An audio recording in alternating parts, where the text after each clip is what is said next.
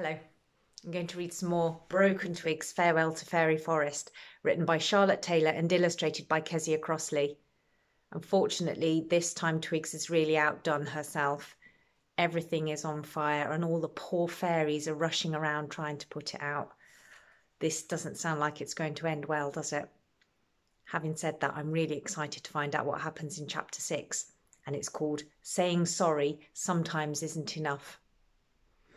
When dusk came, Twigs decided to pluck up the courage to venture out and see what was happening. As she flew closer to home, everything seemed eerily quiet. No birds were singing, no insects were buzzing, and not a fairy could be seen. When she reached the communal glade by the forest lake, Twigs's heart leapt in her throat. The first fay she saw was the tall, majestic leader, Queen Iris who was now leaning wearily against the trunk of the old sacred oak tree, looking anything but majestic. Her graceful golden wing tips were scorched, and her delicate purple gown was now ripped to shreds and smudged with soot. Her beautiful long mahogany hair, which had always shone in the sunlight, now hung listless and limp around her tired, teary eyes. She was barefooted, and as Twigs took in every detail of her queen's appearance, she saw many bleeding cuts on her arms and face. Warily, Twigs continued to look around at all the other exhausted faces, and she realized that every fairy was in the same state of disarray as the queen. Every single fairy except her. Come here, the Fairy Queen ordered, composing herself and amending her posture so that she stood proud and tall. Twigs jumped because she hadn't realized that she'd been spotted.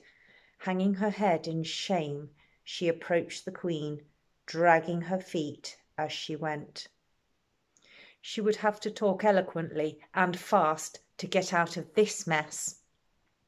I'm so disappointed in you, Twigs, Queen Iris continued with a steely coolness. You have gone too far this time. I'm I'm so so sorry, gulped Twigs. I know.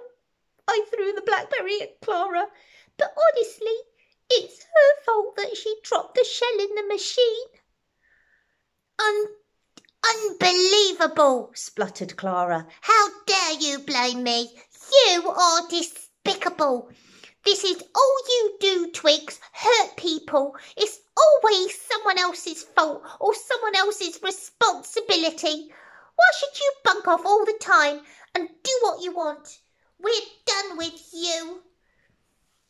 You're done with me? I think you'll find I've never been bothered with you, sneered Twigs. With any of you do-gooders, she added, looking around at the assembled witnesses. You're boring and so irritating and pathetic all the time. You're like pets, obedient to their master, with no will of their own. Honestly, it's cringe-worthy. No, you impertinent fool! It's called respect. Maybe you should try it sometime, Clara spat. Respect? Twigs taunted. She'd almost forgotten the Queen as she continued to goad Clara. You're so annoying and so needy, always whining for people to be your friend. At least I have friends, retorted Clara hotly. Nobody wants to be in a mile of your sorry self. No one wants you here, you know. They should have left you where they found you. No. Audible gasps were heard from the other Fey folk who were witnessing this confrontation. An awkward silence fell throughout the glade as Clara's face flushed and she looked to the floor. What? asked Twigs. What's that meant to mean, you mewling? Quiet! Stormed the Queen as she took turns to glare at the shamefaced Clara, who refused to meet her gaze, and the insolent Twigs, who stared back with defiance. Queen Iris had never looked so furious. Her eyes glinted with anger and an immense sense of power that set her aside from the fairies over whom she ruled. Clara murmured an apology to the Queen, who ignored her while continuing to glare at Twigs. Stealing food, laziness, harsh words, and unkindness are all behaviours we have witnessed time and time again with you, Twigs. We had hoped to teach you to become a better fairy, to value those around you. You enjoy teasing others like a cat may tease a mouse, and you have no thought for others' feelings. Quite honestly, Clara is right. We have had enough. Her poise broke as she continued. For goodness sake, you silly, selfish child. Someone could have been killed today. Do you realize that? You could have killed someone. You still have so much to learn. Fabian will take months to heal. He broke his hip and cracked his eye socket. You did not even stop to help him up once you knocked him down. That is inexcusable. Twigs looked up in alarm. This did not sound promising. And she glanced around the other fairies, who all stared back at her with a mix of regret, judgment, and frustration. As of now, the Queen continued, composed once more, you no longer have a home in Faerie Forest. The fire may have been put out, but you will not be a part of the rebuilding of our community.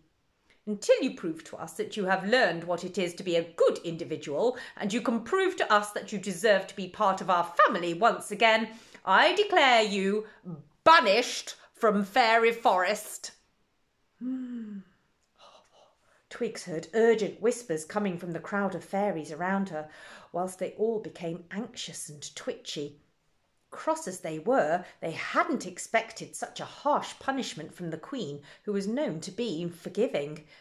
Twigs's eyes filled with tears as she gazed imploringly up at her Queen, all signs of defiance now gone. I'll oh, try much harder, please, she sobbed. I'll work hard and I'll try my best to be better. But her desperate pleas fell on deaf ears. The Queen's gaze was stoic, distant, and cold as she raised, raised her hands and murmured some words in the old Fey language. Twigs felt a sharp stabbing pain in the middle of her back. It was unbearable. Ah! As she cried out, falling to her knees. And then it stopped just as quickly, like ripping off a plaster. Twigs looked up at Clara, who looked away. Then she looked at Penelope, who also looked uncomfortable before turning away.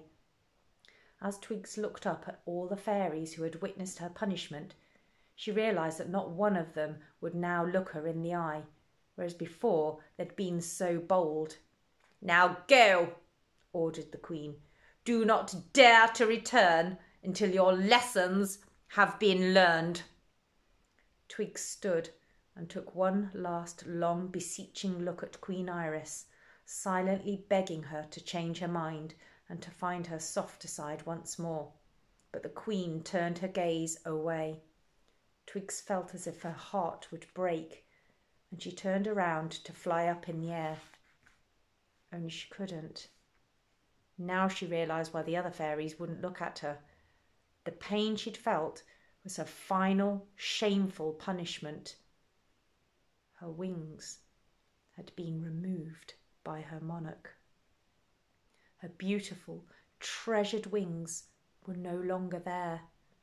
Crying out in despair, she ran, humiliated, into the gloom of the trees closest to her, thankful for the concealment they offered her as she sought to hide her disgrace. A moment of silence followed, while the fairies tried to understand what had just happened. Then, one by one, they returned to their makeshift homes for the night, ready to begin rebuilding in the morning. Left alone, in the moonlight, Iris shut her eyes. One single lonely tear escaped, leaving a shiny, sad trail as it journeyed down her soot smudged cheek. Oh my goodness. That was rather sad, wasn't it? Poor Twigs, banished and not got her wings. I do hope she manages to redeem herself and come back to the fairies. I'll see you again soon for chapter 7.